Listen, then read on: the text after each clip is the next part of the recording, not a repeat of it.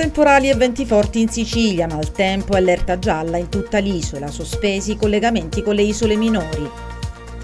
Le vittime denunciano nell'ennese due arresti e 20 persone indagate per i delitti di usura, estorsione e autoriciclaggio. Una piazza di spaccio a conduzione familiare è stata smantellata dai carabinieri di Gravina di Catania, 8 le ordinanze di custodia cautelare. La donazione del sangue è cultura. La regione siciliana ha avviato un'interlocuzione con le scuole per spiegare l'importanza della donazione. Il premio Oscar Nicola Piovani apre a Modica la stagione musicale del Teatro Garibaldi sul palco con note a margine. Ben ritrovati al primo appuntamento con l'informazione di Media News di oggi, martedì 22 novembre. Maltempo, ancora temporali e venti forti in Sicilia e allerta gialla in tutta l'isola. Sospesi i collegamenti con le isole minori. Temporali, venti e burrasca e mari agitati. Continua l'ondata di maltempo in Sicilia. Come ampiamente annunciato, il ciclone Popea è arrivato e già da ieri sferza lo stivale da nord a sud con nubifragi e neve a bassa quota nelle regioni settentrionali e con piogge e forti venti al sud, soprattutto in Sicilia, dove la protezione civile conferma l'allerta gialla fino alle 24 di oggi per tutte e nove le province dell'isola. A Palermo è caduto un palo della luce nella zona noce e si è abbattuto su un'auto in sosta che solo per un caso al momento dell'impatto era vuota. Nessun ferito dunque, ma numerose le richieste di intervento giunte al numero di emergenza per gli allagamenti. Per tutta la notte i vigili del fuoco hanno operato nel vicino comune di Monreale e nella frazione di San Martino delle Scale, dove a causa delle forti raffiche diversi alberi sono finiti in strada intralciando la circolazione. Al momento il traffico aereo rimane regolare, ma si registrano forti disagi nei collegamenti con le isole minori. Il forte vento da sud-ovest e il conseguente aumento del moto ondoso anche oggi tengono navi agli scafi che collegano le isole Olie ormeggiati nel porto di Milazzo con inevitabili disagi nelle scuole, negli uffici e nel rifornimento delle attività commerciali. Alicudi, Filicudi e il piccolo borgo di Ginostra non sono raggiungibili da oltre 60 ore, mentre Salina, Panarea e Stromboli sono isolate da oltre 48 ore. Le uniche isole che sono state raggiunte ieri da un mezzo sono state Vulcano e Lipari, grazie ad una corsa straordinaria della nave Laurana che ha poi fatto ritorno direttamente nella città del Capo. Primi fiocchi di neve a piano battaglia nel Palermitano. Dopo il passaggio del ciclone la pressione tornerà ad aumentare riportando il sole su quasi tutte le regioni, ma si avrà un generale abbassamento delle temperature. Da venerdì 25 poi un altro ciclone sarebbe pronto a impattare sull'Italia, minacciando con il maltempo l'ultimo weekend di novembre. Le vittime denunciano nell'ennese due arresti e 20 persone indagati per i delitti di usura, estorsione, autoriciclaggio ed emissione di fatture false. Vediamo il servizio. Scoperto un vasto giro di usura, riciclaggio ed utilizzo di fatture false gestito da due fratelli di Leonforte che, approfittando delle difficoltà economiche causate dall'emergenza Covid-19, prestavano denaro a imprenditori locali in grave crisi di liquidità. L'operazione Full Control, condotta alle fiamme gialle della tenenza di Nicosia, ha portato all'esecuzione di un'ordinanza di custodia cautelare nei confronti dei due presunti usurai posti ai domiciliari, con il contestuale eventuale sequestro preventivo di beni e denaro per circa 400.000 euro emessa dal giudice per le indagini preliminari presso il Tribunale di Erna al termine di un'indagine durata oltre un anno. Sono complessivamente 20 le persone a vario titolo indagate per i delitti di usura, estorsione, autoriciclaggio, trasferimento fraudolento di valori, emissione di fatture false e dichiarazione fraudolenta mediante utilizzo di fatture per operazioni inesistenti. Decisiva la collaborazione informazione fornita dalle vittime degli usurai. Dalle indagini è infatti emerso che due arrestati, una volta concesso il prestito ed obbligata la vittima al pagamento mensile degli interessi sempre superiori al limite massimo fissato dalla legge, dinanzi alle prime difficoltà manifestate dagli imprenditori nei versamenti periodici, li avrebbero costretti a cedere a titolo di garanzia le proprie quote societarie, talvolta in modo occulto, altre volte attraverso la loro formale acquisizione, accompagnata tuttavia da pagamenti fittizi.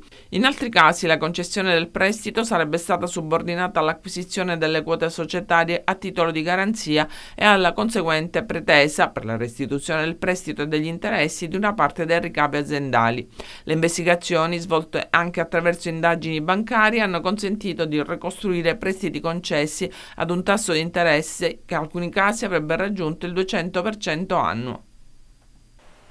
E proseguiamo con la cronaca. Una piazza di spaccio a conduzione familiare è stata smantellata dai carabinieri di Gravina di Catania. I militari hanno eseguito un'ordinanza di custodia cautelare emessa dal GIP del capoluogo Etneo nei confronti di otto persone indagate a vario titolo per furto, ricettazione, estorsione, detenzione illegale di armi da fuoco e spaccio di sostanze stupefacenti. Una piazza di spaccio a conduzione familiare è stata smantellata dai carabinieri di Grevina di Catania. L'ordinanza del GIP ha disposto la custodia in carcere per quattro indagati e l'obbligo di dimora e presentazione alla polizia giudiziaria per altri quattro. L'indagine, denominata Testuggine, durata dall'agosto del 2019 al gennaio del 2021, è scaturita dall'arresto di Manolo Caponnetto per un furto in un'abitazione a Mascalucia e dalla sua decisione di dare indicazioni sul sul suo complice e sul ricettatore della refurtiva Ignazio Giovanni Tomaselli. Grazie ad attività tecniche con video riprese, osservazione, controllo e pedinamento, i carabinieri hanno evidenziato come l'operatività del gruppo criminale fosse concentrata soprattutto nei comuni di Catania, San Pietro Clerenza e dell'Interland Etneo in generale. Il provento dei furti sarebbe servito per alimentare la bancarella del mercato delle pulci di Catania, gestita da Mario Tomaselli, padre di Ignazio. In particolare gli indagati, sostiene la procura etnea, per compiacere o anche per ottenere da quest'ultimo dosi di sostanze stupefacente, sarebbero stati soliti procacciare specie di volatili protetti e anche ornamenti comunali, quest'ultimi sottratti alla municipalità di San Pietro Clerenza e successivamente utilizzati dagli indagati per abbellire un complesso popolare nel quartiere San Giovanni Galermo di Catania.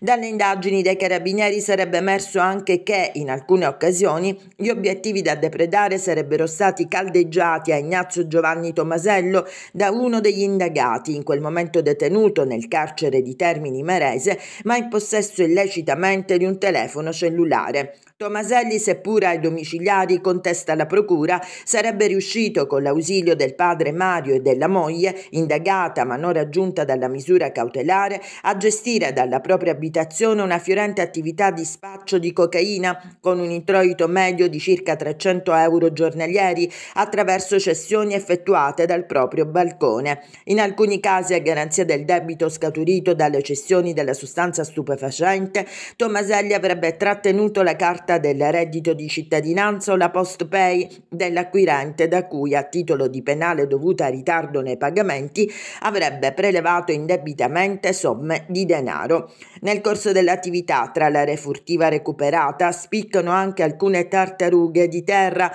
da qui la denominazione dell'attività testuggine, il rinvenimento di un fucile calibro 12 e di un piccolo quantitativo di cocaina e marijuana. L'Ordine degli Ingegneri di Messina contesta l'accelerazione del governo Meloni sul super bonus e chiede misure più flessibili per evitare i disagi al settore.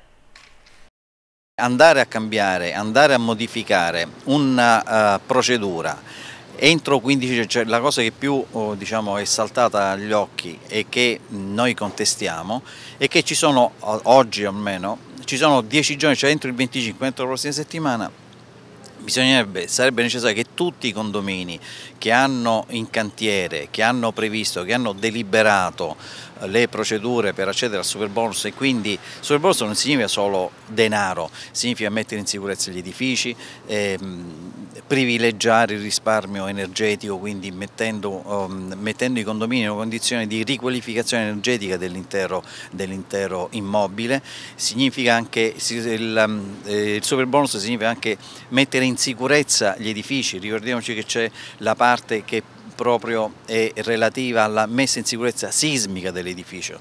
Quindi ci sono tutta una serie di situazioni che oggi a, potrebbero venire a mancare Eh, chi, specie nei condomini, aveva deciso di deliberare di accedere a questo, a questo beneficio ha oggi 10 giorni di tempo per chiudere tutte le pratiche, per mandare, per avviare la procedura della CILAS che serve la comunicazione inizio lavori eh, alla, alla, uh, al comune e quindi chiudere eh, quindi con delibere eh, che spesso sono anche complesse una procedura che si era messo in cantiere almeno, almeno doveva durare fino al 2023 non vogliamo farla durare il 2023, chiudiamola, ma chiudiamola a dicembre 2022, ma non in dieci giorni.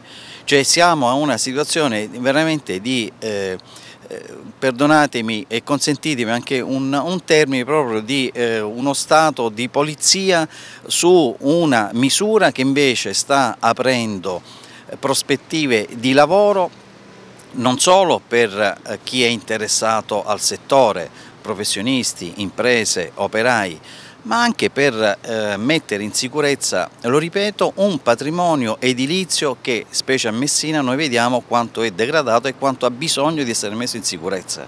Cioè non si capisce questa, eh, questo carico di tensione su una misura che è economicamente indispensabile e da un punto di vista ambientale e di sicurezza del territorio forse lo è ancora di più. La crisi attanaglia aziende e famiglie, le richieste al governo di Asso Esercenti un'impresa. Dottore Politino, un momento di crisi, un momento in cui le aziende non ce la fanno più, ma qual è? C'è una soluzione a parte il governo nazionale, regionale? Voi come categoria cosa state facendo? Allora, intanto il momento è drammatico, c'è un'analisi che abbiamo fatto come Asso Esercenti un'impresa e ci sono oltre 100.000 imprese siciliane a rischio. Purtroppo in una fase di vuoto istituzionale si aspettava l'insediamento del nuovo governo sia nazionale che regionale. Oggi ci siamo. Quello che chiediamo sono delle pochissime proposte serie e concrete. L'estensione del credito d'imposta per le imprese non energivore dal 30 al 50%, una nuova moratoria ABI, l'allungamento dei periodi di preammortamento dei mutui che sono stati erogati tramite il fondo di garanzia è l'allargamento della percentuale di garanzia da parte eh, del fondo centrale dal 70 al 90%. Al governo regionale chiediamo in maniera chiara un indennizzo a favore di quelle imprese che stanno subendo passivamente il caro energia e che giornalmente fanno enormi sacrifici per poter andare avanti. Come? Attraverso l'istituzione di un bando IRFIS che prevede un contributo a fondo perduto del 70% e un finanziamento a tasso zero del 30%. Queste sono le proposte su cui bisogna dibattere. In prospettiva futura vedremo su come lavorare sulle energie rinnovabili, ma oggi c'è un tema che ha un carattere d'urgenza, la salvaguardia e la salvezza delle piccole e medie imprese siciliane. Rispetto a questo il governo nazionale, che è fortemente rappresentato anche da numerosi esponenti siciliani, e il governo regionale hanno l'obbligo morale e istituzionale di dare queste risposte. La donazione del sangue è cultura in Italia e anche nella nostra regione. I donatori hanno più di 46 anni. La regione siciliana ha avviato una interlocuzione con le scuole per spiegare l'importanza della donazione. Un problema di cultura è quello che, che, sta mancando. A luglio, quando il direttore del Centro Nazionale Sangue, il dottore De Angelis, in sede plenaria ha raccontato a noi responsabili dei centri regionali sangue la situazione nazionale degli ultimi dieci anni e ci ha fatto vedere che c'è un decremento molto preoccupante delle classi dei donatori fino ai 45 anni e ha detto cercate di, di fare qualcosa perché qui, da qui a breve toccheremo il fondo. L'Italia, così come anche la Sicilia, si sta reggendo ehm, grazie ai donatori da 46 anni in poi che donano più volte durante l'anno. E cosa sta facendo la regione siciliana? Ha stipulato un accordo, un protocollo d'intesa a, a, a, settembre eh, per consentire alle, alla sanità pubblica attraverso le associazioni dei donatori volontari di sangue che in Sicilia raccolgono l'85% del fabbisogno direttamente nelle scuole andare nelle scuole e sensibilizzare le nuove generazioni per cercare di andare in controtendenza e recuperare questo gravissimo gap che ci separa dall'autosufficienza, dall soprattutto con riferimento al plasma. Faccia conto che eh, a noi mancano per essere autosufficienti per il plasma da cui si estraggono poi eh, gli emoderivati, i plasma derivati, in particolare immunoglobuline e albumina, eh, a noi mancano ancora 27.000 kg di plasma che sono paragonabili a 77.000 donazioni per una sacca di 350 cc come media. No? Eh, ma 77.000 donazioni sono, sono, tantissime. Allora qual è il piano della Regione siciliana e delle, dei centri trasfusionali?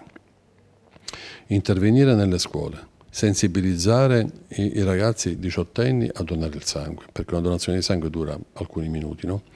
e sensibilizzare invece i donatori periodici a passare alla donazione del plasma, dove la donazione impiega più tempo, sono circa 45 minuti ma per fare questo c'è bisogno della collaborazione dei genitori e dei docenti.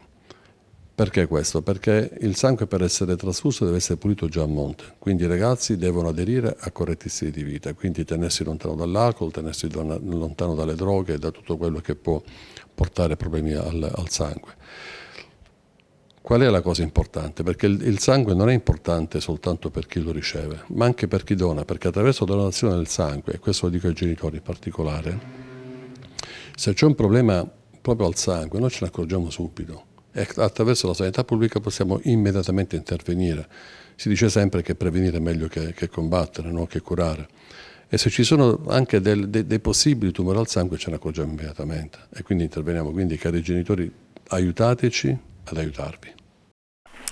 Volontariato siciliano a rischio default. Questo è il grido d'allarme lanciato dal presidente del Comitato delle Misericordie della provincia di Catania, Alfredo Di Stefano, che sta raccogliendo le preoccupazioni delle tante misericordie catanesi e di altre organizzazioni di volontariato e protezione civile siciliane che proprio in queste settimane stanno ricevendo cartelle pesantissime dall'Agenzia delle Entrate e Riscossione relativamente alle tasse tasse di proprietà di mezzi impiegati quotidianamente nel soccorso della popolazione. Il volontariato siciliano è a rischio. Questo è il grido d'allarme lanciato dal presidente del Comitato delle Misericordie della provincia di Catania, Alfredo Di Stefano, che sta raccogliendo le preoccupazioni delle tante misericordie catanesi e di altre organizzazioni di volontariato e protezione civile siciliane che proprio in queste settimane si stanno vedendo recapitare cartelle pesantissime da parte di Agenzia delle Entrate e Riscossione relativamente alle tasse di proprietà di mezzi impiegati quotidianamente nel soccorso della popolazione.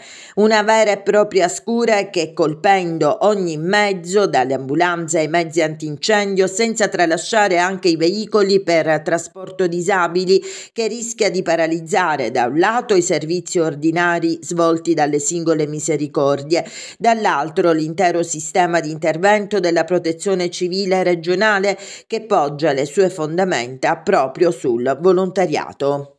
Se la regione siciliana per il tramite dei suoi enti di riscossione hanno deciso di far chiudere i battenti alle associazioni di volontariato che sopravvivono solamente con le offerte dei cittadini, che lo dicono chiaramente. Fino a quando gestiva il tutto l'Agenzia delle Entrate potevamo contare sull'esenzione in virtù di un decreto del Presidente della Repubblica del 57. Solo le misericordie nella provincia di Catania contano oltre 120 mezzi, che corrispondono a oltre 40.000 euro di bolli annui. Il mancato pagamento comporterebbe il fermo amministrativo e l'impossibilità di intervenire sia nel quotidiano sia in situazioni di emergenza, senza contare le eventuali rivalse sul patrimonio dei singoli presidenti. Chiediamo al Presidente Schifani, alla Giunta regionale, di intervenire tempestivamente su queste criticità. Almaviva le RSU sindacali hanno incontrato a Palermo il viceprefetto spiegando la situazione dei 450 lavoratori del servizio 1500 attivo durante il periodo del lockdown e che adesso rischiano di perdere il lavoro e chiedono una mediazione con i ministeri. Sono i lavoratori della commessa del 1500, eh, un numero di servizio diciamo, ministeriale di pubblica utilità che hanno svolto egregiamente il loro lavoro durante un periodo complicato per il Paese che era quello della pandemia. Ora diciamo, sembra che il mostro Covid sia in fase diciamo, di, di, regressione, le attività del servizio del 1500 eh, continuano a diminuire, sono lavoratori che già con stipendi bassi allo stato attuale sono all'85% di ammortizzatore sociale. Quindi serve un tavolo ministeriale, serve fare chiarezza se ci sarà un appalto eh, che continuerà le attività del 1500 o comunque garantire eh, a questi lavoratori il perimetro occupazionale di questi lavoratori che principalmente sono in Sicilia, Palermo e Catania eh, che eh, non possano pagare dazio due volte, non solo in termini di ammortizzatore sociale ma anche in termini diciamo, di dismissione dell'attività di Almaviva eh, progressive in ambito eh, di, di, contact center. Crediamo che si debba trovare una soluzione che possa salvaguardare tutti. Non credo che sia accettabile. Eh, abbiamo eh, diciamo, aspettato che si costituisse un nuovo governo per far sì che comunque ci siano delle parti che vengano convocate per trovare soluzioni per tutti. È una situazione paradossale perché per lavorare rischiamo di non lavorare, è un paradosso appunto. La preoccupazione è molto realistica purtroppo, tra l'altro siamo in un'età non collocabile lavorativamente, io personalmente ho 48 anni eh, non è facile, la paura sì, è molto realistica purtroppo sì. Noi lavoriamo in American Express almeno io da, da 18 anni Adesso Amex ha deciso di internalizzare in Spagna, quindi si riprende il servizio in house.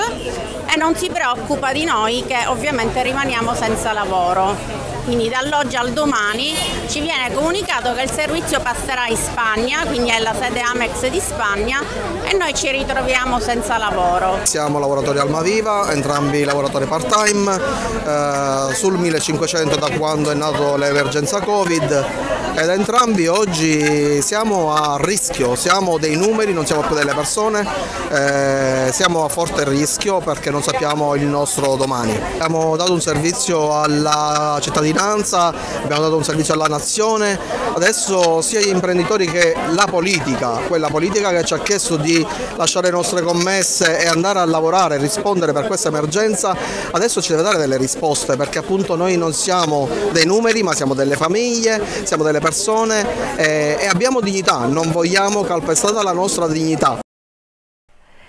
E ora cambiamo decisamente argomento. Il premio Oscar Nicola Piovani apre a Modica la stagione musicale del Teatro Garibaldi sul palco con note a margine.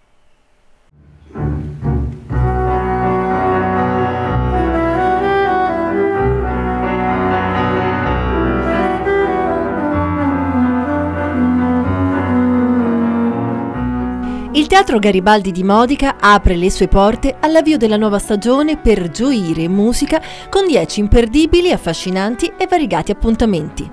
Il primo evento che ha bruciato il botteghino in appena due giorni è stato Note a margine con lo straordinario Nicola Piovani. Nota a margine è un racconto musicale che ripercorre il cammino artistico del compositore e che, come in immaginarie stazioni di un viaggio tra le note, rivive memorie, esperienze, aneddoti e incontri con personaggi come Federico Fellini, Fratelli Taviani, Roberto Benigni, Bigas Luna e tanti altri. Sono tutti tasselli di un mosaico che raccontano di una vita fatta di cinema, teatro, letteratura e naturalmente di musica. Un racconto appassionato che incrocia le sonorità di tre strumenti, il pianoforte suonato dal maestro Piovani, il sax di Marina Cesari e il contrabbasso di Marco Loddo. Le note a margine del concerto non sono i piccoli appunti, le osservazioni o le riflessioni che vengono annotate ai margini di una pagina, ma sono significative esperienze di vita, profonde ed emozionanti testimonianze esperienze personali in cui ogni nota è unica, appassionata e centrale, rappresentativa di una bellezza totalizzante perché, come ha dichiarato Piovani, non ricordo un solo momento della mia vita in cui non ci sia stata la musica. Parte ufficialmente domani il programma di Leonforte Crea, rassegna dedicata al cinema, all'arte e alla cultura che coinvolgerà le scuole del territorio. Cinque mesi di eventi con incontri di approfondimento, documentari, mostre e incontri con gli studenti. Vediamo. Grandi nomi dell'arte, del cinema, della fotografia per la prima edizione di Leonforte Crea, una rassegna pensata come un percorso culturale ad ampio raggio che porterà nel cuore della Sicilia artisti, registi, fotografi, intellettuali pronti a raccontarsi davanti a studenti e non, protagonisti di talk show, incontri di approfondimento e di intrattenimento, workshop e mostre. L'idea di questa piccola e preziosa rassegna è di Alberto Maria, giovane giovane regista leonfortese realizzato con la collaborazione fattiva di Alessandro Aiello. È stato sviluppato un calendario articolato in più mesi dal 23 novembre 2022 al 22 marzo 2023, giorno in cui è stata istituita la giornata in memoria di Giovanna Maria, impegnata e appassionata operatrice culturale e sociale molto nota nel piccolo centro in provincia di Enna. La manifestazione aprirà i battenti il 23 novembre al liceo scientifico Enrico Medi di Leonforte. Leonforte Crea è un sogno che si sta concretizzando in rassegna artistico-culturale a Leonforte da novembre a marzo 2023. Eh, inizialmente il progetto doveva essere semplicemente una giornata eh, in memoria della professoressa Giovanna Maria, appassionata operatrice culturale e sociale di Leonforte, scomparsa nel 2020. Successivamente abbiamo pensato, io e tante persone, associazioni, in particolare Scuola Fuori Norma di Catania, che si occupa di formazione esperienziale eh, di prodotti audiovisivi, e l'Università Popolare di Leonforte, di creare questa rassegna che farà convergere a Leonforte professionisti, artisti da ogni parte della Sicilia e anche fuori in particolare interagiranno anche realtà siciliane conosciute eh, in tutto il mondo come Farm Cultural Park e la Fondazione Fiumara d'Arte di Antonio Presti e si è svolto a Raffadali presso lo Sport Center il secondo memorial in ricordo di Nino Virone, giovane poliziotto penitenziario venuto a mancare a causa di una grave patologia. Il giovane è stato eh, ricordato durante un quadrangolare di calcio a 5 che ha visto la partecipazione del reparto di polizia penitenziaria degli istituti penitenziari Petrusa di Agrigento, Piazza Lanza di Catania e Pagliarelli di Palermo. Era un angelo per me. L'ho conosciuto poco perché purtroppo è successo quello che è successo, però quel poco che l'ho conosciuto diciamo che era come se l'avessi conosciuto da una vita. E sono contento ecco, che viene ricordato ogni anno con questo memorial perché proprio fare memoria di una figura del genere è importante.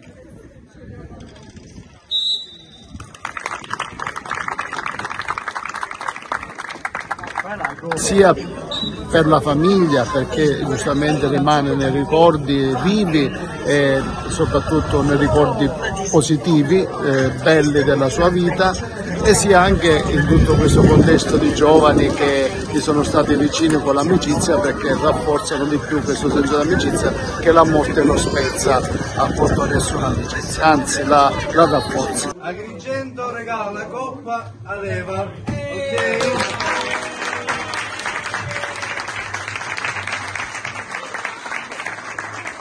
Anche i colleghi di Palermo Pagliarelli, nonché quelli di Piazza Lanza, eh, hanno aderito con un grande entusiasmo proprio per la vicinanza di, di Nino, perché l'ho conosciuto un po' anche da altri, sia perché a Catania ha questo servizio, ma anche i colleghi di Pagliarelli hanno sposato questa causa e hanno preferito essere presenti.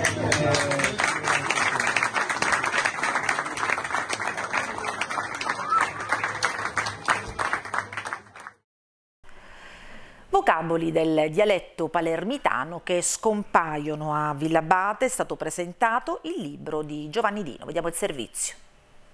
Questo libro diciamo, viene da, da, una lunga gestazione, l'avevo iniziata innanzitutto le parole che scompaiono, è una raccolta di termini eh, della parlata orale che naturalmente ve, non vengono più citate, non vengono più dette, però appunto le parole che scompaiono. È un libro che una, un, un, lavoro che ho iniziato sul finire degli anni Ottanta, allora frequentavo la, il Comitato Utopia eh, il Comitato Utopia che l'aveva creato eh, Giovanni Giannone, l'architetto Giovanni Giannone, e che ancora esiste e, e lui è il, titolare, è il, il direttore. Eh, l'avevo iniziata lì, questo, questa raccolta di, di, di termini che non si dicono più, che tendono a scomparire. Ma non solo questo, anche altre cose ah, iniziato a, avevo iniziato a, a, raccogliere e a scrivere. Eh, e che piano piano ogni volta aggiungevo sempre qualche parola, qualche parola, fino a quando è arrivato il momento ecco, di, della pubblicazione. Ma sicuramente va aggiornato, ci sono ancora termini che io eh, non ho scritto perché mi sfuggono, non, non, quindi di volta in volta, ecco, chissà, una nuova, una nuova edizione verrà poi aggiornata. Diversi vocaboli sono scomparsi, almeno un 40% di quelle che sono scritte nel libro, un 40% sono letteralmente scomparse, sono diventate arcaismi. Eh, altri, altri, tendono a scomparire, so, non, è, non, è, questa generazione, la generazione futura eh, sicuramente non adopererà più questi termini. Poi questo libro eh, porta termini che ho scoperto che diciamo solo qua a Villabate, nomi tipici villabatese, ad esempio dico questo, reula. Reula voleva dire regina. È un termine che solo qui a Villabate si diceva. Reula. Re al femminile. È in questi ultimi anni che mi sto dedicando un po' alla saggistica, un po' alla, a, a anche alla storia, alla storia locale, proprio per amore del mio paese. Ho tante cose in cantiere che sto raccogliendo, che ho raccolto e ora via via, via via vado pubblicando. Ad esempio i mestieri scomparsi, di cui c'è un mestiere tanto caro a me, che, di cui l'ho frequentato, i miei fratelli l'hanno fatto, l'airo, quando si cavava. E, e così ad esempio le, e, i cuffolara, che, che facevano le, le coffe, eh, insomma mestieri, mestieri che ormai non esistono più e che io ho preso a cuore che intendo, intendo raccontare queste storie. E questa era l'ultima notizia, io vi ringrazio per essere stati con noi, vi do appuntamento con la prossima edizione di Media News e vi auguro buon proseguimento di ascolto.